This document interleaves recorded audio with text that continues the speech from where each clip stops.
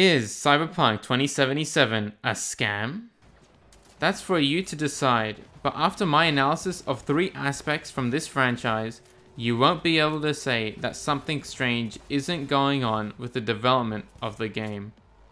The three aspects I'll be analyzing are the over excessive merchandising, unpolished gameplay,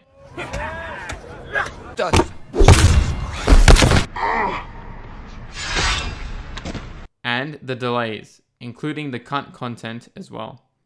So let's get right into this. The merchandising. Now let me clarify that the merch itself isn't something that's strange. A lot of video games have merchandising. But what's strange about Cyberpunk's merch is the amount there is for a game that hasn't even been released yet. Unlike the other games that mostly capitalize on their hype after their release, such as Overwatch, or are pre established franchises, such as Pokemon, this game is a relatively new IP for the company. I say relatively because it was announced 8 years ago. I know the series is based off a board game, but still, most of the merch was announced before this year's June gameplay reveal, meaning that so much of the merch was based off of trailers and a few hours of gameplay. And this stuff isn't cheap, averaging around 50 Australian dollars per figure, with the occasional expensive item, and sometimes they get a bit ridiculous. Uh, let me just convert that into Australian dollars. oh my god. With seeing so little of the actual game, it's likely they use the merch money to fund their game's development rather than producing a great new game, then capitalizing off its success after the fact. And that's if they haven't already broken even. And from what I can tell, people are eating this stuff up. Some of the most expensive pre-order bundles are all sold out, as well as limited edition consoles and chairs. I don't know, maybe it's just me, but I find it strange that there's such a wide variety of Cyberpunk merch available, but no actual Cyberpunk game to justify the craze. And how is the gameplay? Is it worth all this hype that it's getting? Well, let's find out. I want to make something clear. I don't have a problem with the game's genre or the setting itself. The game is an open world RPG first person shooter that promises to have interesting skills, powers, and an expansive city to explore, set in a cybertronic future. Setting, setting totally new standard in the genre, both in terms of the gameplay, but also on the tech side. Sounds great. But before I go further, keep in mind that this game has been in development for around 8 years. I understand they were also working on The Witcher 3 for half of that time, but hey, maybe don't announce a game that early on and set the bar so high for yourselves all the way back in 2012. I do think the game looks visually impressive, especially for an open world RPG. It probably is the best looking one coming out. And the three different lifestyles you can choose to start out as is a nice idea. But other than that, out of all the gameplay trailers, there was never something that stood out to me as a standard setter. The gameplay itself is nothing special, at least in my opinion. Firstly, most of the gameplay shown consists of walking, talking, and driving, and a whole lot less shooting, skills and perks, and customizations as the focus.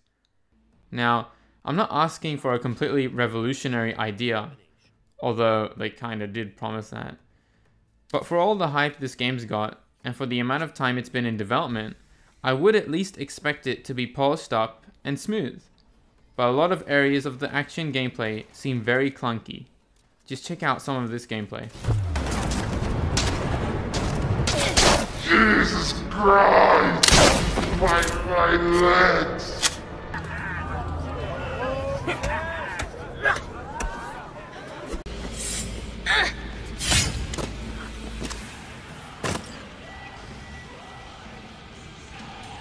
I've seen smoother reloading and gun animations in COD, Borderlands, Doom, just to name a few.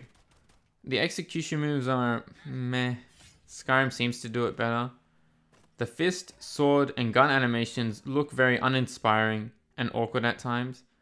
The level designs and missions seem very linear as well. Although we have only seen a handful of quests, so I can be completely wrong there. The enemies seem like mindless bullet sponges, and you don't have the option to change to third person mode. Although I can kind of see why. Now, I gotta address something that many of you are probably thinking.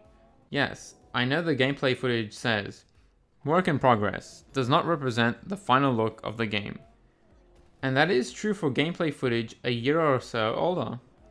But does it really make sense to say that for the June 26 Night City Wire gameplay?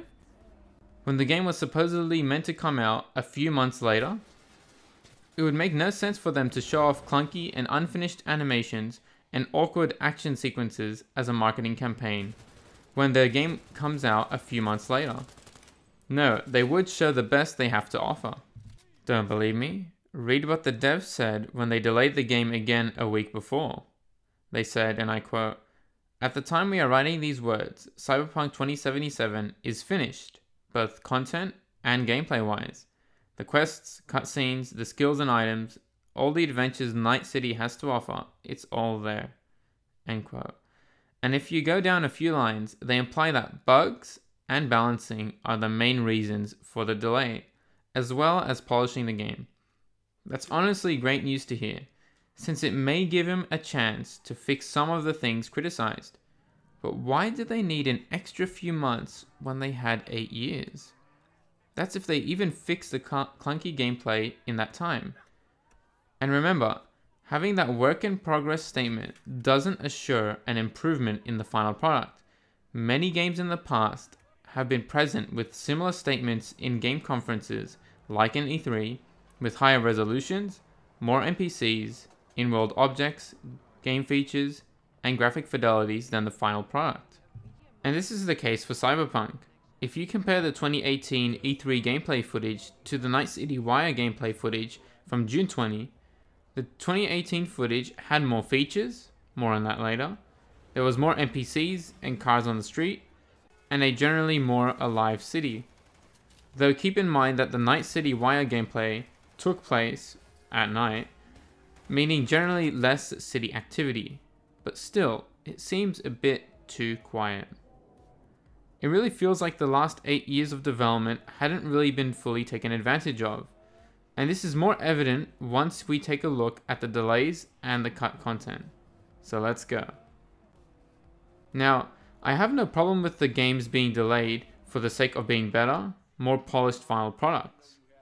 But in the case for Cyberpunk, the delays of the game have been shortly followed by features being quietly announced that they're no longer in the game. Initially, the game was supposed to come out in April of 2020, but was moved back to September, then again to November. And throughout the year, more features were getting confirmed cut from the game. These being no wall running, third person cutscenes for your character, which by the way were both shown in the 2018 E3 gameplay, and no customizable cars. And although it was never confirmed, there isn't a subway or train system in the game for traveling, even though advertisements and marketing suggest otherwise. So why is all this important? Games always change and lose features during development. Open world RPGs always have lots of bugs, a few clunky animations, dialogues, and mostly consist of simple enemy AI. Although that's true, in Cyberpunk's case, somewhere along the console generation's worth of time they had to develop the game, they thought, uh, yeah, we probably need another half year or so. Extra time to dish out even more merchandising, generate more hype and positive press for the game. All the while showing small bits of the core functionalities that may or may not be polished. I mean, why spend money polishing the core gameplay when there's so much hype and money being made before the game's even released? A lot of people have definitely pre ordered the game, so success is practically assured. That's if they haven't broken even already. Now, all of this isn't 100% confirmed, and I'm not saying that it's definitely what's happening. I'm simply raising the suspicion, as it definitely feels like this is the case. They could, in fact, not be showing off the best of the game to leave all the great content they've been working on for so long for the actual game's release and all the negatives mentioned earlier may be fixed by launch. But you have to admit, something suspicious is definitely going on. Heck, the delay to November could very well be just to capitalize off the next gen launch hype. So all I'm saying is, set realistic expectations. You can't do everything shown in the trailer, and nothing shown has been a new RPG standard, like they promised. And don't be surprised if they do delay the game again. They're making a lot of money from the hype, and definitely won't let that opportunity go to waste. But again, we won't know until the game actually comes out, whenever that is. So after everything shown, is Cyberpunk a scam? Well, I definitely don't think it'll be the greatest RPG of all time, or live up to the hype it's generated over the years. But what I do think it will be is a decent and above average RPG. It definitely won't be trash or terrible, but no new standard in my opinion. But hey, I can be completely wrong. So what do you think? Is Cyberpunk one big scam? I really want to know your opinions, so let me know in the comments below.